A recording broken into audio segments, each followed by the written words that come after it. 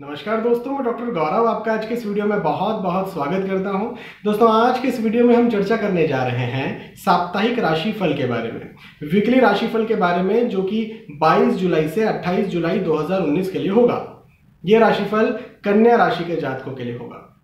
दोस्तों, सबसे पहले तो आपसे एक बात शेयर कर दूँ, जो अपने हर राशिफल के वीडियो में शेयर करता हूँ, वो ये कि मेरे जो राशिफल होते हैं, वो चंद्र राशि पर आधारित होते हैं। उसकी वजह यह है कि शास्त्रों के अनुसार यदि आपको ग्रहों के गोचरों की ही गणना करनी है तो चंद्र कुंडली के आधार पर की जानी चाहिए। ये जो राशिफल होते हैं, चाहे आप कहीं पर भी देखें, कहीं पर भी सुने, कहीं पर भी पढ़ें, ये ग्रहों के गोचरों की ही गणना होती है। और चूँकि ग्रहों के गोचरों की ही गणना होती है, इस वजह से सामान्य स्तर पर होती है। इस बात का आपको ध्यान रखना चाहिए।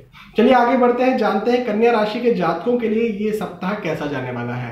एक बहुत अच्छी बात यदि मैं आपको बताऊँ और आर्थिक दृष्टिकोण से यदि हम चर्चा करें तो आर्थिक दृष्टिकोण से ये समय बहुत अच्छा है। खास तौर पर तब जब आप कहीं रिस्की इन्वेस्टमेंट करना चाहते हैं, जैसे शेयर मार्केट में निवेश करना इवन भूमि में निवेश करना फ्लैट में निवेश करना, या ऐसी जगह निवेश करना जहाँ पर आपको लगता है कि यार ये रिस्क है, यहाँ पर पता नहीं मुझे लाभ मिलेगा या नहीं मिलेगा।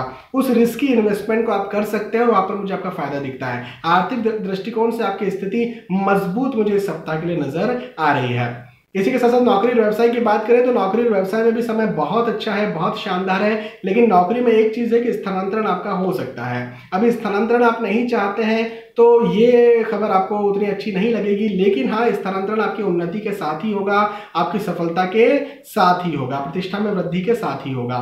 रही बात बिज़नेस की तो बिज़नेस में भी आप नई ब्रांच कोई ओपन कर सकते हैं, नई ब्रांच हो सकता है किसी नए शहर में हो, जहाँ जाकर के आप ज़्यादा समय दें तो इसे भी एक प्रकार का स्थानांतरण ही कहेंगे।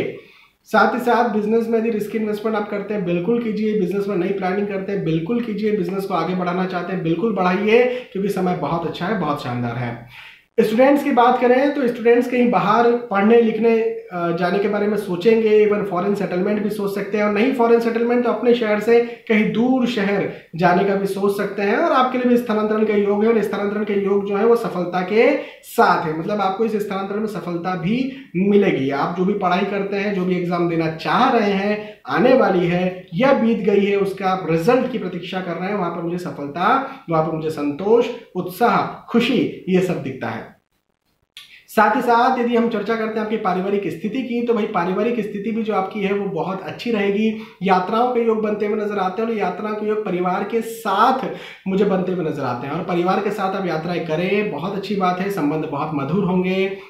यात्रा जो है आपके संबंधों को मधुर तो बनाएगी, लेकिन आपको मानसिक दृष्टिकोण से बहुत ज़्यादा उत्साह भी देगी। इस इस उत्साह को, इस रिफ्रेशमेंट को आप अपने नौकरी में, व्यवसाय में या फिर स्टूडेंट्स यदि हैं, जो भी काम करते हैं, उसमें ये रिफ्रेशमेंट या ये उत्साह बहुत ज़्यादा काम आएगा और बहुत नई एक ताकत के साथ, नई ऊर्जा के साथ आप अपने परिवार से जो ऊर्जा ले रहे हैं और गेन कर रहे हैं, मैं कहूँगा, उसको आप अपने कामकाज में लगाएँगे और बहुत ज़्यादा आगे भी आप बढ़ेंगे। तो ये पारिवारिक दृष्टिकोण से समय बहुत अच्छा मुझे दिखता है और यात्राओं का होगी यात्रा करना भी चाहिए, कोई दिक्कत नहीं है। स्वास्थ्य की बात करें तो भाई शारीरिक और मानसिक दोनों ही स्वास्थ्य आपके लिए अच्छे रहेंगे तगड़े रहेंगे मज़बूत रहेंगे। और फाइनली दी लव अफेयर की बात करें तो प्रेम प्रसंग में कहीं ना कहीं मुझे उतने आ, सफलता के योग नहीं दिख रहे हैं। प्रेम प्रसंग को विवाह का रूप देना चाहते हैं एक्सेप्टेंस चाहते हैं सहयोग चाहते हैं तो मुझे वो फ़िलहाल नहीं दिख रहा है। तो आने वाले अच्छे वक्त की प्रतीक्षा करें।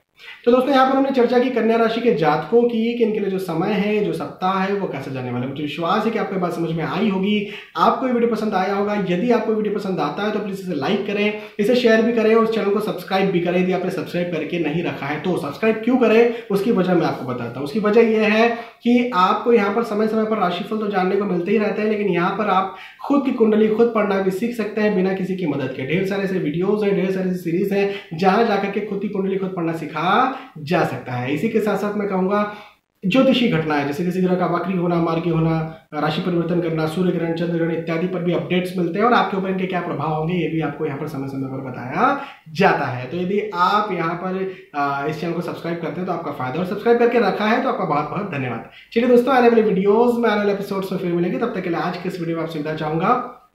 नमस्कार।